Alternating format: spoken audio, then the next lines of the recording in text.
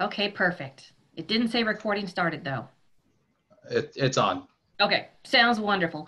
Well, hello everyone. Thank you for joining us today. Uh, this webinar is designed to be an uh, update about ArborJet, uh, everything from equipment to what we're seeing with pests uh, to different uh, changes on labels with the chemicals. So it's kind of an overall view. So I know this was geared a little bit more towards California because we're getting California Department of Pesticide Regulations uh, CEU credits. Um, however, it, it, does pertain to the rest of the country as well. So don't feel like you're being excluded. Uh, you know, we just Californians can't help but to focus on ourselves. Kidding, I'm kidding. Um, so the first thing I'm going to start with the equipment. And part of the reason why I, I always start at this very first step with the equipment is because that doesn't matter what piece of equipment you're using, the process does not change. The first thing you always got to do is identify the tree you're working on and the pest or disease you're treating for. That is always your, your step one. Um, I know sometimes there's issues with identification. That's the most challenging part we probably usually run into.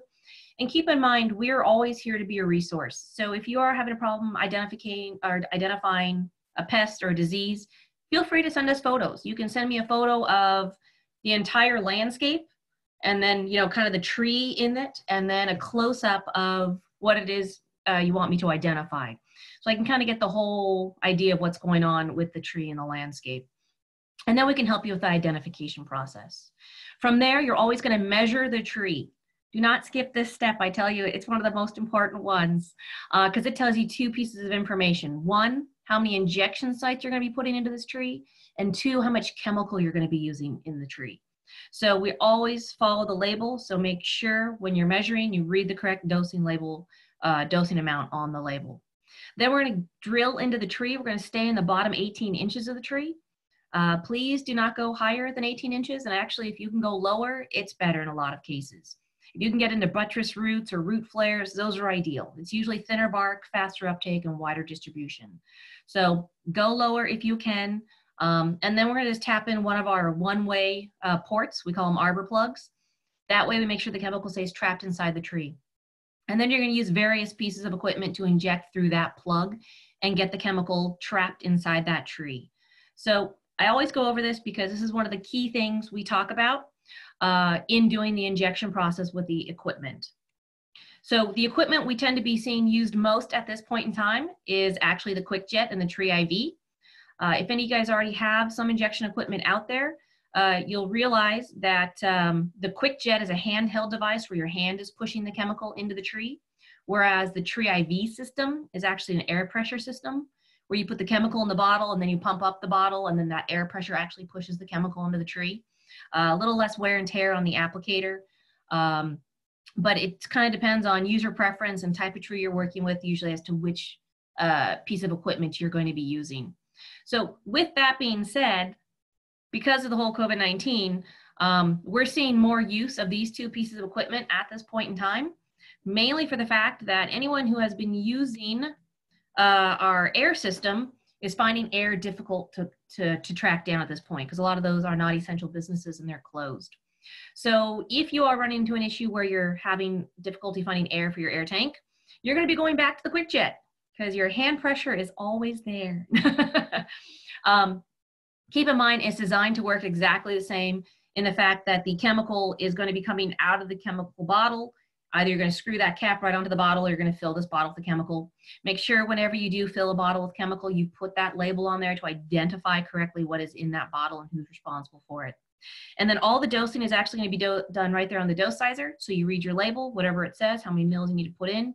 You're going to adjust that dose sizer. And when you actually squeeze that handle, it's going to push that chemical directly inside the tree. So when you release that handle, it's going to refill that chamber and it's going to be ready to go again. So there are check valves at the front of the unit to make sure that the chemical goes into the tree and doesn't push back into the unit. There's a check valve at the bottom to make sure that chamber is always refilling and always ready to go. And then we go ahead, go down to that base of the tree, and we do our injection. And I have been using this slide for years because it is my best way to introduce what not to do with PPE. Um, PPE for trunk injection is pretty basic. It's your standard long sleeve shirt, long pants, socks, shoes, correct diameter, uh, or correct mill, uh, chemical gloves, and certified eye protection. And as you can see in this photo, uh, we have lost a glove along the way. Unfortunately, I've seen this all too often. It's, it's a very common mistake we tend to see with trunk injection. You might be writing something down or doing something with the equipment, and all of a sudden you take a glove off. Uh, next thing you know, you don't have it back on, and you're now in violation of the label requirement of the PPE on the chemical. So be aware of that. Always read all your labels and all their PPE requirements. Uh, some do vary, but most of them standard the follow protocol. Uh, the other thing you'll notice in the photo is those don't look like certified eye protection, do they? They kind of look like those cheater reading glasses. Well, there's no cheating in PPE, so make sure you have the correct certified eye protection. Because uh, if you notice, your face is right down there where the application is being done. And we want to make sure everyone is well protected uh, from any accidental uh, exposure.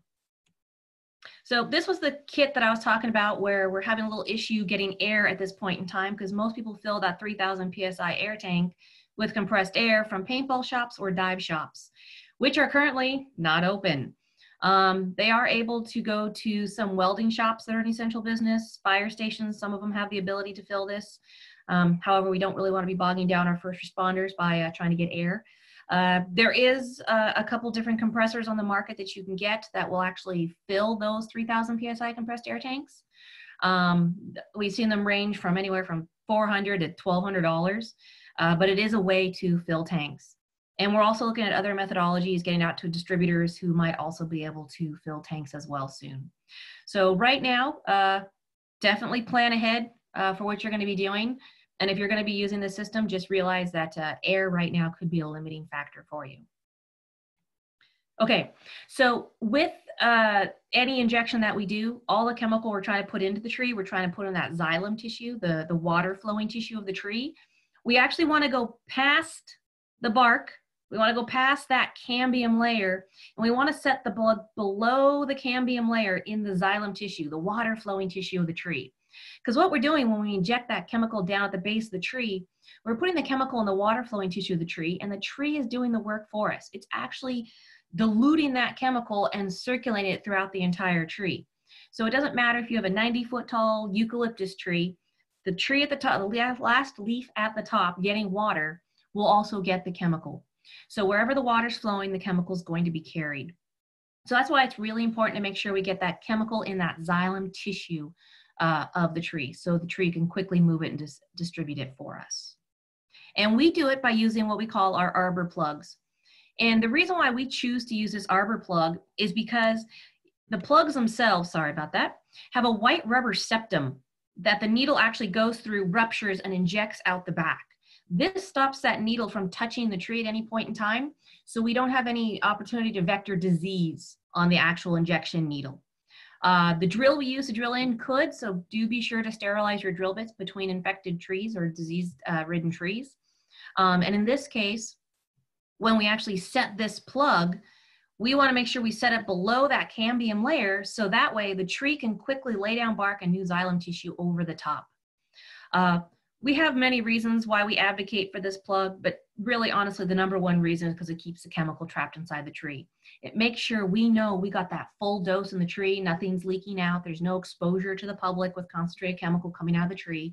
And we know we got the full dose in the tree that the label said will take care of that pest or disease we're trying to treat for. That's the main reason. I mean, it's also excellent for keeping out any sort of secondary disease or pest at the site. Um, so kind of keep that in mind when, when using or choosing to use this plug. Uh, we always advocate for it in the urban environment. Um, outside the urban environment, uh, you may choose to use a different methodology.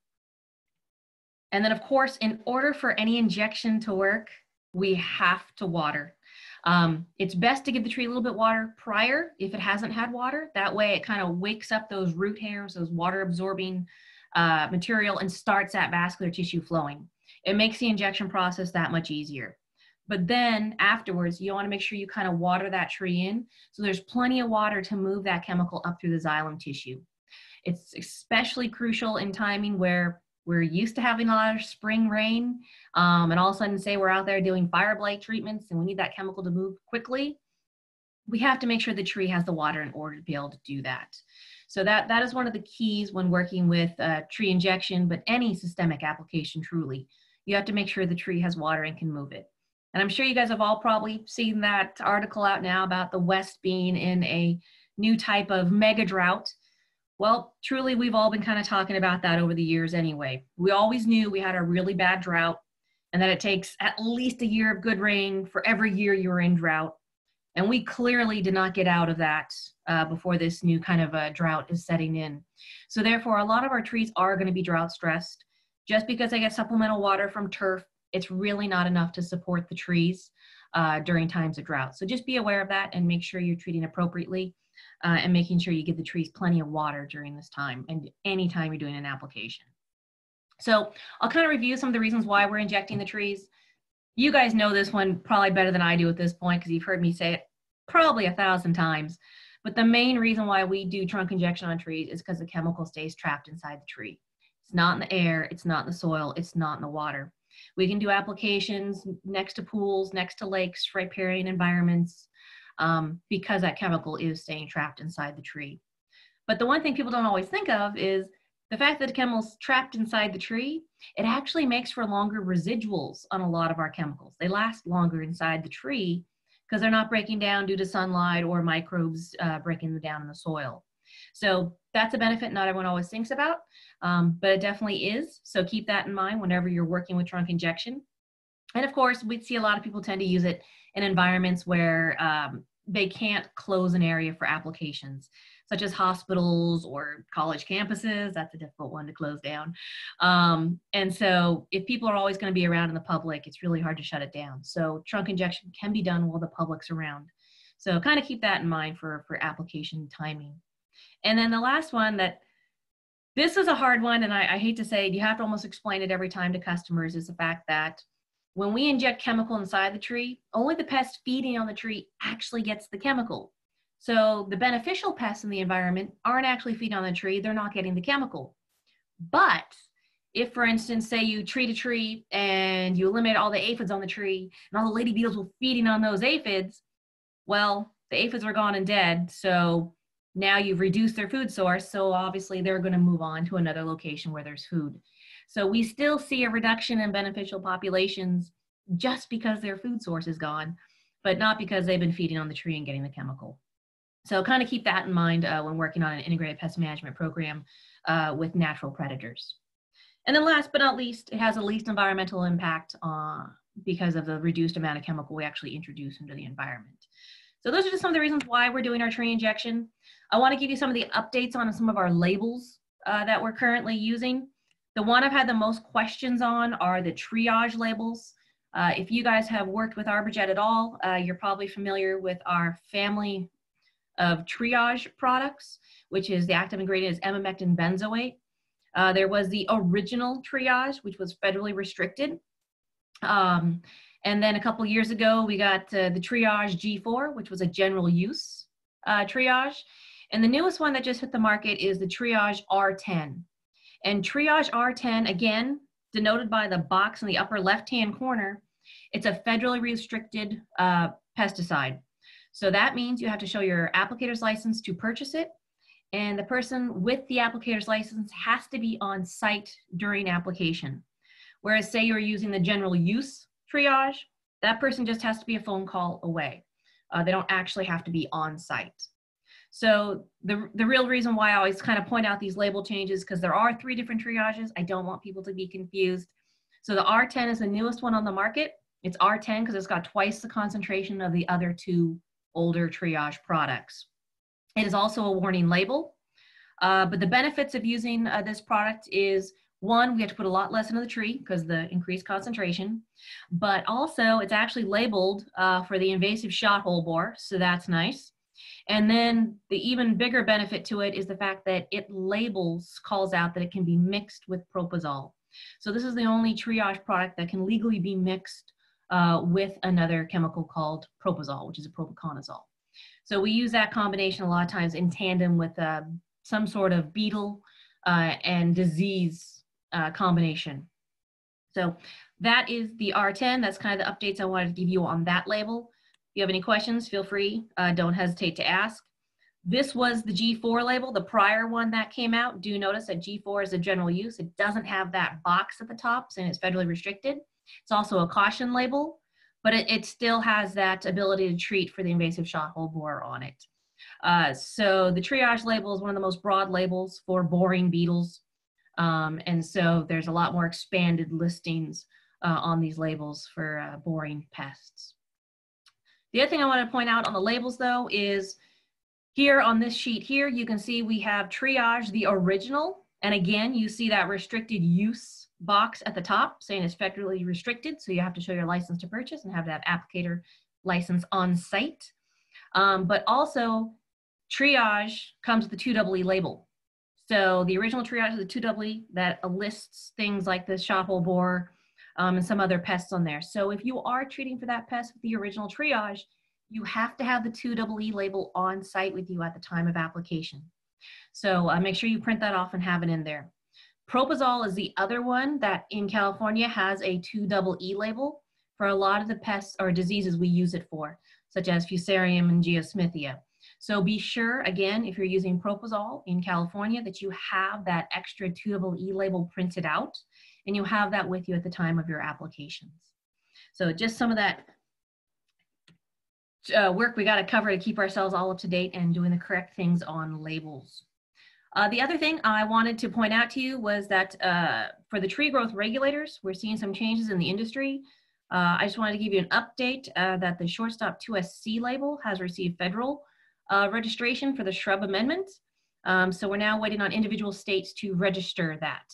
So as you guys know in California, we might take a little extra time to get that, uh, but do know that it's in the works um, and that there'll be an announcement coming out and more training on it uh, once it is actually registered in the state of California.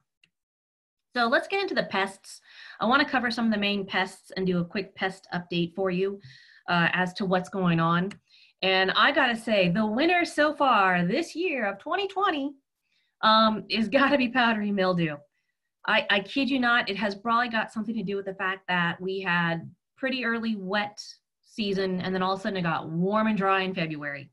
We didn't get a drop of rain in February. Well, it got warm enough that the uh, powdery mildew became active.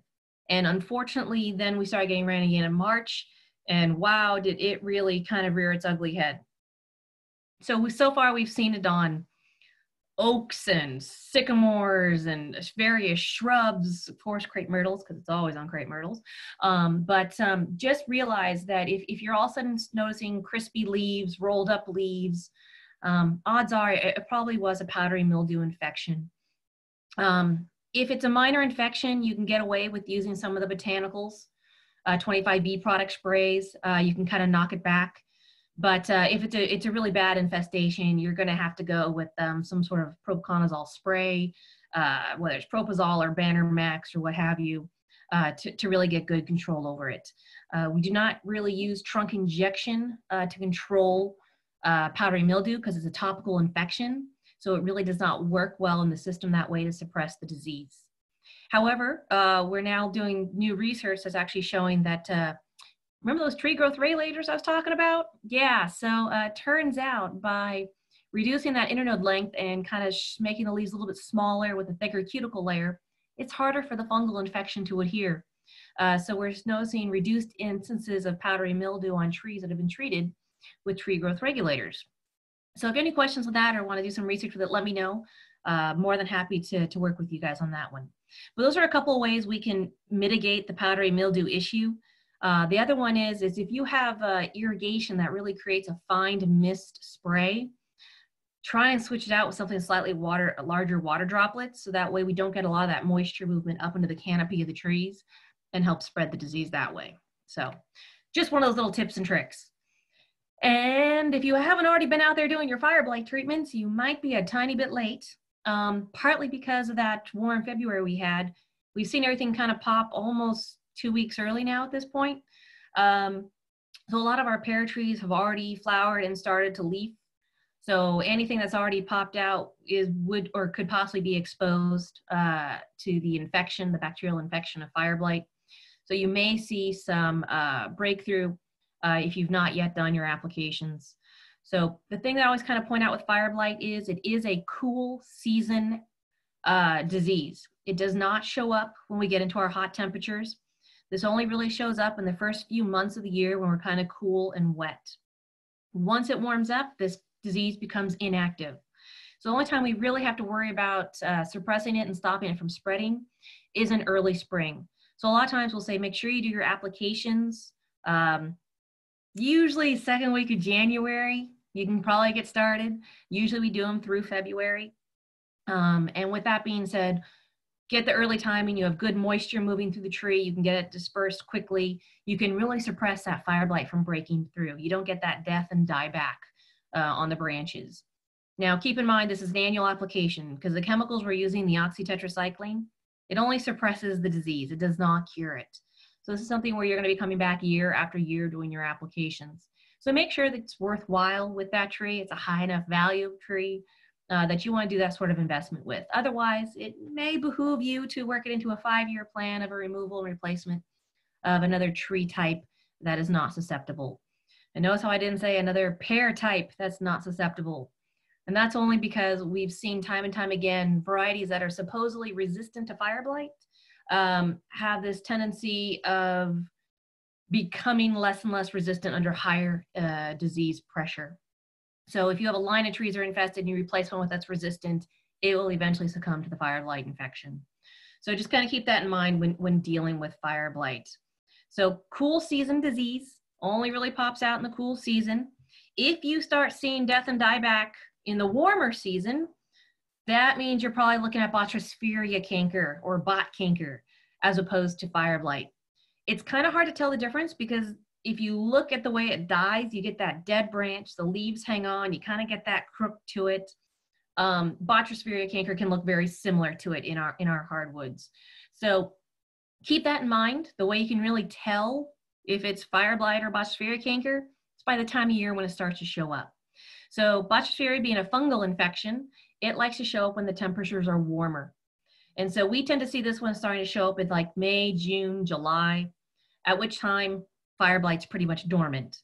So we don't see a lot of crossover. And if you want to get up close and look at the branch, you can almost always see that kind of canker or lesion that's actually occurring on the branch and where it's dying out from. So get up close, you can kind of see the difference.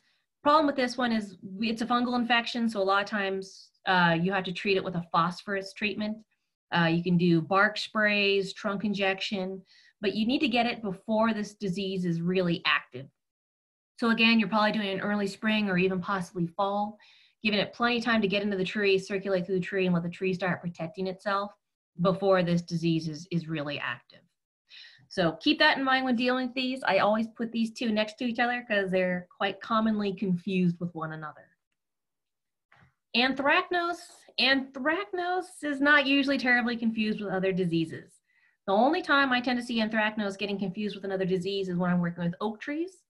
And we will sometimes see diplodia show up on our oaks that can sometimes look like anthracnose. So when we deal with anthracnose and sycamore trees as their own group, um, we always talk about using phosphorus. And the reason why we do that is because phosphorus will uh, suppress the anthracnose, but it'll also suppress the Botryosphaeria canker. So Botryosphaeria canker is kind of known to getting into our sycamores. So with that being said, a lot of times we will try and treat phosphorus on our sycamore anthracnose. However, if you're doing anthracnose on oaks, ash, elm, you want to use more of a propiconazole uh, type based product uh, to suppress that particular uh, fungal infection. Um, can you use propiconazole on ash trees? Yes. Yes, you, or I'm sorry, on sycamore trees? Yes, you can. Um, it's just, you can get a couple diseases with the phosphorus. So we tend to go with that recommendation. You definitely want to get it in the fall though, so there's plenty of time for it to circulate throughout the tree before they leaf out come spring. And then um, whenever you're dealing with anthracnose in the oaks or ash or elm, we'll say do the prop- propiconazole in the fall as well. So you can do spray methodologies with these. Uh, we found much better uh, coverage and protection with trunk injection when going after this particular disease. And then sudden oak death. I am talking about this one a lot. And it's because we're going to get that warm, late rain again, which we've seen over the last couple years. And we know it's that warm, late rain that really helps spread this one. So now we've seen it actually moving quite a bit in the last two years. Uh, we already know it's it's an uphill battle um, where we get it infected, it, it's just going to spread. Uh, but the whole idea is identify where it is and then make a, an action plan on how to treat it. So right now I saw a horrible infestation that's just moved out into the Orinda area of the Bay Area. And unfortunately, it's big mature trees being attacked. So that being said, a lot of times uh, we'll recommend doing a bark spray of phosphorus on younger trees. Trees are usually at least 12 inches in diameter or smaller. Their bark's a little bit thinner. They maybe don't have as much debris on their bark because they're younger. It's much easier to get that, that phosphorus spray to uh, penetrate the bark uh, than you do on the older, more mature trees. So, and we tend to say the phosphorus spark spray is an every year application. Whereas if you do trunk injection, you can do it every two years. And that's what we really recommend against the larger, older, mature trees. Because that way we know we're getting the full dose in, we're protecting that tree, uh, and we don't have to come back but every two years to really treat for it. So that is something we're seeing. So pay attention out there for the sudden oak death. It is on its move. It is going to be another bad year. Uh, so just kind of make a good action plan. And the question that I keep getting is, how much should I do it preventatively? And honestly, it really depends if the disease is right next door to you or if you've got a couple miles to spread it apart. If you have good distance, um, I say just do slight preventative every couple years if you can. Um, if it's next door, you want to be much more aggressive in your treatment pro uh, uh, program. Uh, this disease is, is very, very virulent and moves very quickly. So kind of keep that in mind when dealing with it. Okay, into the pests. So the only pest I always talk about, and I talk about aphids because wow, that is still the number one pest we treat for. Um, and it's not because it kills trees. It's it's solely because it's a nuisance pest. It creates that honeydew and it makes a sticky, icky mess, and the black sooty mold discolors things and looks unsightly. And so this is still the number one pest we actually get called for. So that being said, I always address aphids. And the one thing I want to say is keep in mind the life cycle on aphids, how quick it is, and use that to your advantage when you're doing your treatments.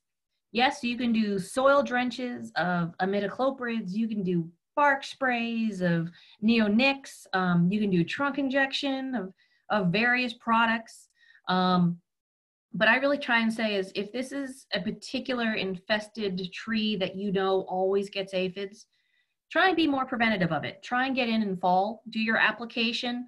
Uh, you can use imidacloprid, you can use acephate. There's lots of different ones you can work with. Um, but get it in the fall, protect that tree for when the pests are going to move in in spring, as opposed to waiting till spring and letting that population build and then trying to have to fight it back. Um, because at that point, you're fighting it back, but it's also spreading throughout the landscape. Um, so try and stay ahead of it if you can. But uh, a lot of times, if you're dealing with some sort of um, aphid infestation that is throughout the entire landscape, really to get good control, you, you kind of have to start with a whole landscape management plan. So keep that in mind. You might be able to get it out of the tree, but it, it's still going to be in like Mrs. Smith's roses and everything else uh, throughout the landscape, and it will just reinfest the tree. So you want to make sure you create a plan where your timing is accurate and will protect that tree all year. And if you apply for aphids and you notice that the honeydew keeps falling, you might want to look a little closer and see if maybe you accidentally have scale on your tree. And the reason why I say this is because imidacloprid is one of the common uh, insecticides we use against aphids. But unfortunately, imidacloprid does not work well against hard scale. So if all of a sudden you've treated this tree and you still have honeydew falling, you might want to look closer. Look at the stems, look at the leaf petioles, and see if you can possibly find hard scale. Usually imidacloprid will take care of soft scale, so that won't be an issue. That's not usually what you'll find, uh, but you'll usually find hard scale. And you have to actually go into using more things like dinotefuran and acephates to really knock back the hard scales. So sometimes you have to do a combination application uh, of two different chemicals to really take care of hard scale. Whereas soft scale, like I said, just a little imidacloprid and you can usually take care of that pest. So we have to use two different treatment programs uh, to treat for hard scale and soft scale. And the first trick with that is identifying which one you have. So like I said, send me that photo. I have no problems. I love getting them and identifying what's going on and which one you might be dealing with. So keep that in mind, hard and soft scales, two different treatment programs. You need to identify which one you have to get the correct program going for it. And then We also have mites that create honeydew. And I talk about aphids, scale, and mites all together because a lot of times if you treat for aphids with the imidacloprid and the honey doesn't stop and you're like, all right, maybe I got some scales, but wow, she said look at the petioles and the twigs and I just don't see anything there. Uh, then I'm going to say take a piece of white paper, hold it under the branch, tap that branch, and see if you can see some mites that might fall onto that white paper. They also make honeydew. And they can also create that issue of that uh, kind of sticky, icky mess. So, and again, you can't kill mites with imidacloprid. So you're going to have to go with a different uh, product in order to wipe out the mites. Uh, work well, emamectin benzoate works well, um, but just kind of know your timing. So a lot of times I specifically talk about conifer mites, and it's just because they tend to do a lot of damage before we tend to notice that they're there. Uh, we start seeing some of the, the canopy kind of turn yellowish, the interior needles start dropping. Um, you already see the stippling on the needles of where they've been feeding. So a lot of damage has usually occurred from conifer mites before we identify them.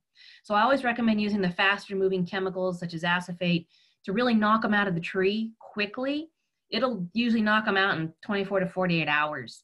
That's the whole idea behind uh, the acephate products is they're very quick moving. And that way you stop that feeding right away. Um, then you can come in with a chemical with a longer residual uh, to maintain uh, that clearance on those, those trees. But definitely always look for the mites and if they just don't occur in conifers, they in hardwoods. We've seen quite a bit actually showing up in our oak trees now. Uh, so keep in mind, look for those little guys. They're tiny, they're hard to see, but on white paper, you can kind of figure out which one's which. And the other thing I want to say with mites is they like dirty plant material. So if you happen to have, you know, a bunch of trees on a dirt road and they're constantly getting dust blown up into them, there's a really good chance that's an excellent environment for mites. So go ahead, feel free, give those trees a wash. Kind of like going through the whole month of February without any rain. It doesn't hurt. Give those trees a quick wash, knock them down, clean them off, uh, get them ready to absorb water and keep out the pests. So the other one I want to talk about that we're starting to get photos on is thrips and whitefly. It's spring. Spring is here, so these guys are starting to come out. Um, we've had some issues with people complaining about imidacloprid not working well as soil drenches um, against thrips and whiteflies, and it's mainly because they're a mobile pest, so you have to have a really high concentration in the tree in order to get good control over this pest. Um, so that's why we, we really recommend trunk injection when you're doing this one. Knowing you got the full dose on the tree, making sure you got the concentration levels you need, you can really take out these mobile pests much better.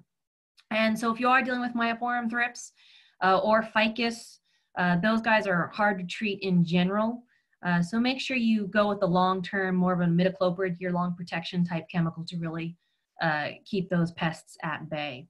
Um, the other thing I want to say is timing is usually more reactive, unfortunately, with these pests. People notice them and they treat immediately. So if that's going to be your case, uh, I tend to say uh, do two chemicals, do the acephate, followed by the imidacloprid, so you get that really fast knockdown, but that good complete coverage and, and, and long residual. Uh, that way you know they're not going to reinfest. I've had some people using insect growth regulators, such as azadirachtin against whitefly. Um, it is very effective because because it's an insect growth regulator, it does kind of repel that pest. It makes it not want to feed or reproduce on that plant material. Um, so it, it does clear them out of the area quickly by using that type of, of application as well.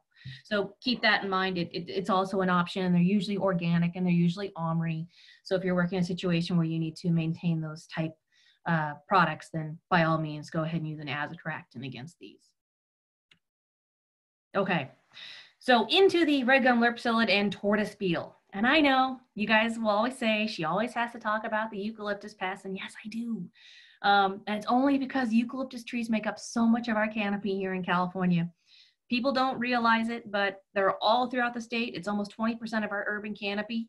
Uh, so we, we do need to maintain and protect these trees. They've been here long enough that some people no longer call them invasive. Well, they're still invasive, but still. uh, they've now become a part of our landscape and we, we, need to maintain them. Otherwise, they do become liabilities, as we know. So that being said, uh, tortoise beetle and lurp psyllids are actually very easy to treat with imidacloprid. Imidacloprid will work against both of them. You can do it as a soil drench, trunk injection. Uh, the real trick is you want to get it into the tree uh, before the pests are really mobile and really feeding. You want to give it plenty of time to get out there and circulate into the new tissue uh, and really get in there and protect the tree prior to the pests feeding. So the trick with eucalyptus trees is they do flower, right? So I'm talking about imidacloprid, which has a bee box label, which means you have to make sure that you do not apply this when the tree is in flower. And eucalyptus trees have kind of an erratic flowering habit. So I really recommend doing your applications in the fall. When the trees aren't in flower, get ahead of it, make sure it's protected so that when the pests do come out in spring, uh, the chemicals are already there and, and protecting the tree. And that's way to really stop these infestations from getting out of hand. Because unfortunately, when they do uh, get to the point, they will start actually causing dieback on the trees. And that's when we start seeing those dead branches uh, and the overall decline of the tree.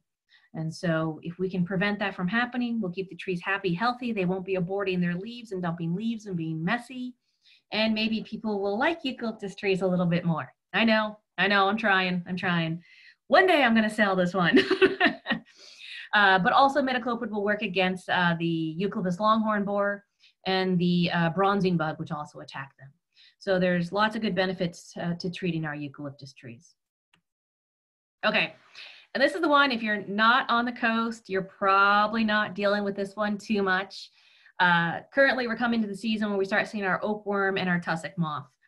And people tend to speak about them kind of interchangeably, which they are pretty different. Um, the oakworm would normally give us at least two life cycles in a year, whereas the tussock moth really only does one. Uh, the oakworm is more of just a nuisance that gets all over stuff and it tends to be more out in the in the coastal counties whereas the tussock moth has no problem going more inland to hotter drier areas but this one is a real nuisance because uh, of those actual hairs on the moth. Um, they can really irritate people. Um, there, there's something about them that can get on your skin and, and cause you to have allergic reactions.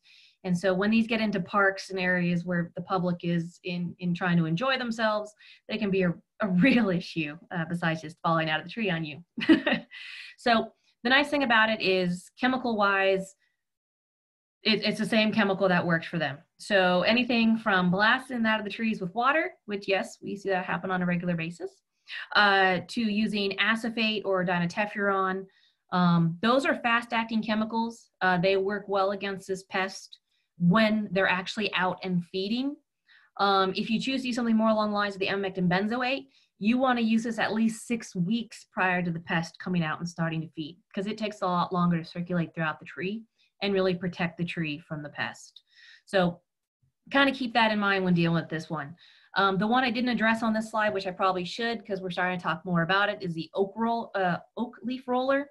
Um, that one's a little bit trickier to control only for the fact that it feeds on the leaf and flower tissue uh, of, of our oak trees. And so our chemicals and most chemicals don't go into the flower. We don't want chemicals in our flowers. So when they're feeding on the flowers, we can't really control them. If you have an oak tree that is not in flower, by all means, go ahead and treat it.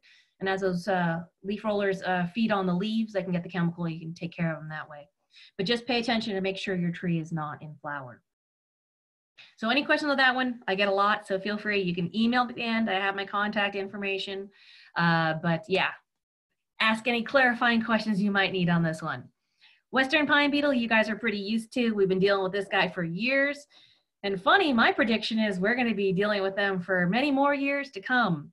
Uh, if this mega drought is in fact uh, something that we will be dealing with again, um, then I have a feeling these bark beetles are, are going to become a pretty permanent nuisance we're dealing with.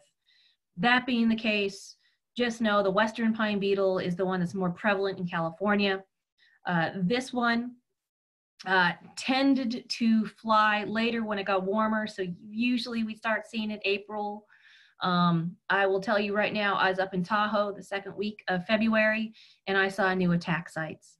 So because of our warm early spring we got, those beetles were already out and flying uh, and, and attacking the trees.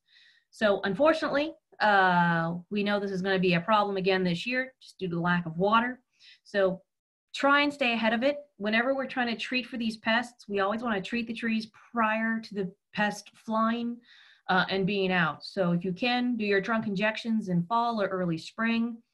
If you actually have to do applications in the middle of their flight, it is really best to trunk inject the tree as well as spray the tree.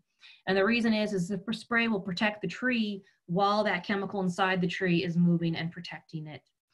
So that way you, you don't risk losing a tree while the treatment's still trying to get around and circulate and protect the tree. We're going to be doing a, a webinar hopefully sometime in March specifically on bark beetles uh, from a couple of the masters of the research on these pests, uh, Dr. Chris Fettig and Dr. Don Grosman.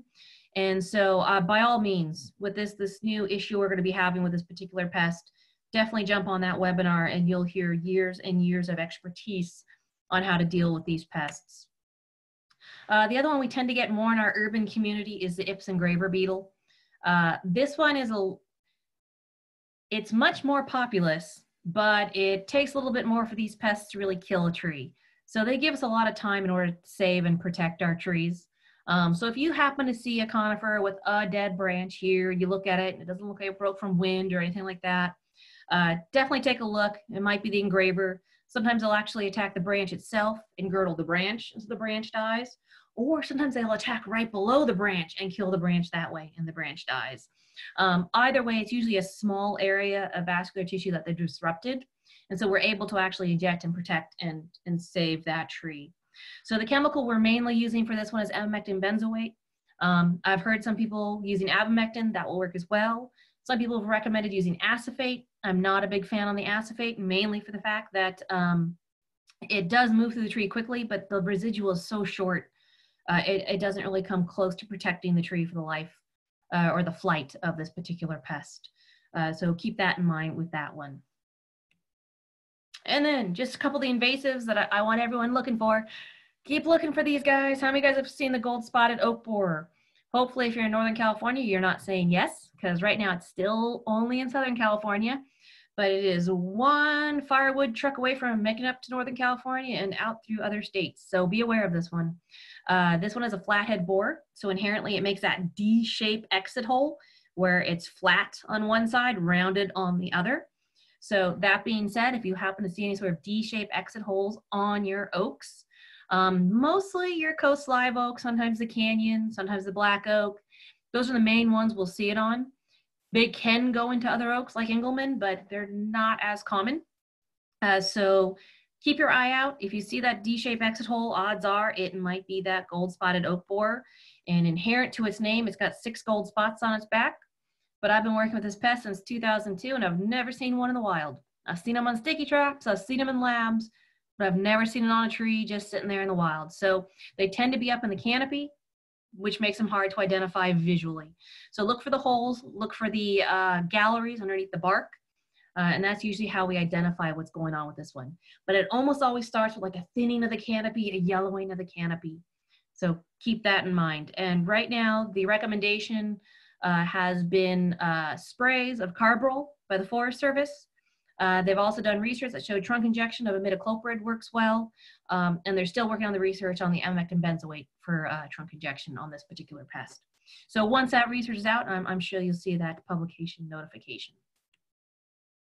The invasive shot hole borer, this guy is still currently only in central and southern California, uh, not yet known to have spread up to Northern California and infested. There's been a couple of occurrences of it showing up in Northern California, but it did not establish. Uh, so that is excellent news. And it's mainly because you guys on the front lines out there are looking for it. If you happen to see this little ambrosia beetle and it's done a mass attack on a tree, and there's always some sort of weeping or bleeding associated with it, that's going to be this little beetle who's vectoring the fusarium. This pest is unique in the fact that when it bores into the tree, it's not really eating the tree. It's actually boring in, bringing its own fungal infection of fusarium, planting it, growing it, and then eating off that fungus. Uh, it then lays its brood inside the tree, and the female actually backs out of the hole and protects its whole brood inside. So it's, it's a unique pest. It reproduces very quickly. It has the ability to reproduce every six weeks if it wants in good conditions. Um, and then the majority of the, the eggs tend to be female. And then brothers and sisters mate in the galleries and they come back out and they're ready to infest. So this one does have the ability to move quickly. And the fact that it vectors along this fusarium infection uh, can also uh, be difficult on our trees. So a lot of times when we're working with a particular pest, we're always treating for the pest as well as the disease that it's vectoring. Um, so any of our chemicals that work on our boring pests, uh, we've heard people using imidacloprid, emamectin benzoate. Uh, for the fusarium, uh, the research out of UC Riverside was showing that uh, the tebuconazole, propiconazole, the zoles uh, were working well against the, the fusarium infection itself. So keep in mind, if you have this pest, you want to treat for the pest as well as the disease. Uh, so you can eliminate its food source as well as the pest. So let me know if you have any questions on that one. I'm kind of running out of time because we got a tiny bit of a late start. So I have a few more slides I want to get through. Um, this is just a close-up of the fusarium that that particular pest vectors. Uh, so you can see you get the staining of the bark. And in some varieties, such as olive, the fusarium itself can kill the tree, not just the pest. So once it introduces it, that's very virulent in those specific varieties and can kill the tree. So keep that in mind when working with this one. Um, preventatively, use your fungicides if you can, especially if it's a high value tree. Okay, the Western oak bark beetle, vectoring the foamy bark canker disease. This one's a mouthful, but it looks very similar to the invasive shot hole borer. The only difference is the Western oak bark beetle is a native beetle we always have here that tends to rear its ugly head during drought. Uh, but now it's picked up this disease it's carrying. Uh, it's, a, it's in the Geosmithia family. And so it causes that same weeping or oozing um, from the attack site as we tend to see with the invasive shot hole borer and fusarium. So that's why it's kind of easily mixed up. It's nice that the treatment happens to be the same. So if you do happen to misidentify, uh, you're going after your insecticide as well as your fungicide treatments uh, with these. So that being said, look for the mass attacks, look for the, the weeping and foaming. And then if you happen to cut off a branch, you're gonna see that vascular blackening where that disease has girdled uh, the tree. In this case, it's more the disease that kills the tree than the actual beetle itself. Our trees are pretty used to the dealing with these beetles during drought being natives. Um, but unfortunately, it's the disease that's really starting to kill these trees. So if you do happen to see it, cut out the infected wood as quickly as possible. Treat and protect the surrounding trees. That's your best option. Um, we did see some great research where you could literally see where they had preventatively treated some trees with both the disease or for both the insecticide and the fungicide. And you could see how far it had moved through the tree. And then that's where the attack started. So you can see that the pest could actually identify how far the chemical had moved inside the tree, which is kind of frightening in a way. But um, yes, uh, it was effective in the fact that it, it did protect the remaining trees. Okay, so there's a couple invasive pests I want you guys just to keep your eyes out for. One is the South American palm weevil. This one is only in Southern California, and this particular weevil uh, likes to chew on the immature fronds in the meristem. And eventually, if you get too bad of an infestation, it'll actually eat out and kill the meristem of the palms. We're pretty much only seeing it in the Canary Island date palms at this point in time. It does have the potential to go to other palms, but so far we have not really documented that. Um, the reason why I'm saying watch for this one is because we could very easily ship it someplace. Because whenever we get a palm tree, right, we pretty much we tie up the, the, the fronds, we ship it off, and we want to keep those palms uh, fronds tied up until it's actually planted out and established. At which point we open it up, and we could have this guy in here, and he could have destroyed the entire thing while we were waiting for the the plant to establish. So it's very very important to inspect any palms you're going to be having shipped up or planted out look at them while they're on the ground, look in there, make sure that meristem's healthy. Uh, they have found imidacloprid works well for treating this. So if you are going to be receiving a palm, make sure they've treated it with imidacloprid before it's left the site. Um, and then if you have any issues or in, in the infected area where this pest is, you may want to be doing preventative soil drenching of imidacloprid. If you find you're actually under attack, you may want to go to trunk injection to get that chemical up to that meristem that much quicker. So keep your eye out on this one. He has the ability to travel and travel quickly. And it's easy to identify where he's been. That's the telltale sign of this particular pest, those notches in the fronds. So it's where they have been young fronds, they've been eaten, and as they expand out, you can see very clearly where the feeding has taken place.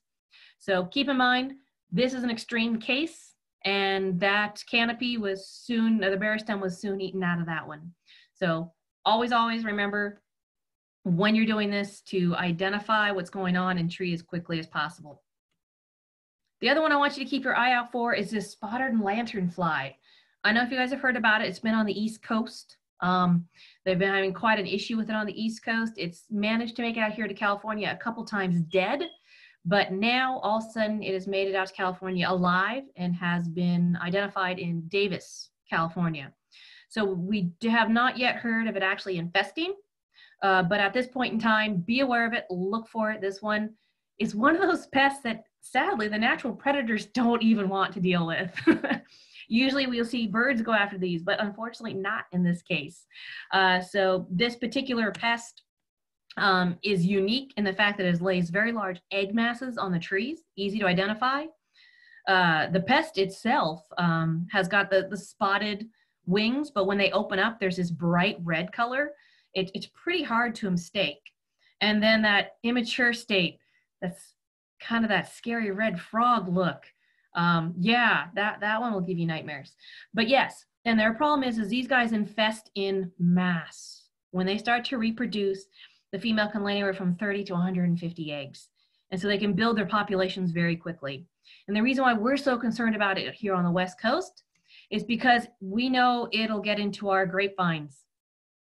We also know it'll get into our orchards, such as apples, almonds, so if anyone happens to see this pest, please, please report it immediately. You can let me know, county ag know, anyone, just speak up. Even if you've misidentified, we're fine with that. We'd rather have a hundred misidentifications and then let this guy slip through uh, because he is definitely going to be an issue for our agricultural industry here in California. So last thing I want to talk on in the last couple minutes, I know we're over, but we got a late start and DPR says an hour, so you guys have to listen to me for an hour. so the last thing I want to talk about is fortifying tree health against pests and disease. And the best way to do that is by making sure they have enough water. That is the number one issue with trees in our environment is they usually do not have enough water. Or if they do, it's because we're watering them and we're way over watering them and we're now drowning them. Uh, so there's a couple products I'm going to talk to you about. One is the humates and humectants that help hold water in the root zone. Um, there's some various products out there. One's called Moisture Manager, one's called Hydretain, there's another one called NutriRoot. Um, but they all use that same idea that helps hold that water in the root zone of the tree. So if you're taking time to actually water your tree, add this in. It adds about, you know, about a dollar for, you know, a small tree to really get it to establish. It is worth it. Uh, it's amazing how it helps the trees hold on to their leaves just because they can actually get the water into their roots and, and establish their root zones. So I'm not going to spend too much time on it because we are kind of running out of time here. But this was a great picture of where they used it on every other tree. So the tree on the left didn't get the Hydretain with the humates and humectants. The tree in the middle did. The tree on the left didn't. You can see how those trees uh, were so different in the fact that they got watered initially, and then 90 days later, the tree that got the treatment was still able to hold on to its leaves because it was able to establish its root system. So if you have questions on this one, give me a call. I think we'll be using a lot more of these type products in the future, uh, especially with this mega drought situation we're dealing with with our trees. The other thing I want to talk about is chlorosis in trees, mainly micronutrients. micronutrients are like the vitamins of trees. They're always telling us we got to stay healthy, we got to take our vitamins if we, you know, want to not get sick. It's the same idea with trees. So when we start talking about tree health though, I always say take a soil sample because that'll tell you what you're really deficient in your nutrients. And it's also going to tell you if you have way too many salts. Uh, here in California, we have a lot of issue with high salts, whether it's from our soil itself, the water we're supplying it, or the fact that we might be using reclaimed water. So first step in order to get the right nutrients available for a tree is get rid of the salts. So there's different ways you can do it. You can do it with sulfuric acid, you can do it with gypsum, or you can do it with this, which is an NAX, what they call salt flush. And basically what it is, it's adding calcium to the soil at high concentrations. That calcium actually knocks the sodium off the soil colloid and allows that sodium to be flushed out of the soil. And then the plant material can actually use the, the calcium that was added in. So first step, get rid of the salts as best you can out of the soil. I always recommend doing that soil test before, soil test after, and then get in there and start giving the trees the micronutrients they need. So this was a tree on the left. You can see it got it June uh, in 2018 just by giving its micronutrients. Nothing else, just giving it the micronutrients it needed. You can see how much healthier it was the year later. Uh, same with this one on the left. Only difference was it was given micronutrients. So micronutrients, people don't realize how much of a key they are for trees. They are the overall health and building blocks trees need to be healthy and to sustain themselves against disease and pests. So same with palms. I know it sounds strange. And what I love about palms is they literally give us a roadmap to telling us what nutrient they're deficient in. Um, so if you can look at your palm, take a quick look, snap a photo, send me the photo, and I can pretty much tell you what's going on with that palm and what nutrient it is lacking. The only one I can't really tell you without a soil test is the boron, because boron deficiency and boron toxicity are very, very similar. uh, so you, you might need a soil test for that one. But uh, once you give them the, the micronutrients they need, uh, you'll have a nice, healthy, uh, and nice green palm, or any tree in that case. Micronutrients really are the key. And the one thing I always say about palms, which people don't realize, but if you ever see the top of a palm that's starting to bend, if it's kind of leaning over, that is almost always a nutrient issue. You give them the correct nutrients they need and they straighten right back up. So keep that in mind. If you have a bending palm and it's not because of the wind, odds are, and you're not in and out, the other, other caveat, you're not in and out, then it's likely a, a nutrient issue. So that's everything I wanted to cover today. Uh, you guys have any questions, feel free to go ahead and type it into that chat box that you find at the bottom of your screen. Um, and I can answer any questions you have, or please feel free, you can email me anytime, call me, uh, text me. I'm, I'm happy to answer any questions you might have or give you any clarifying information you might need. All right, Zach, do we have anybody sending any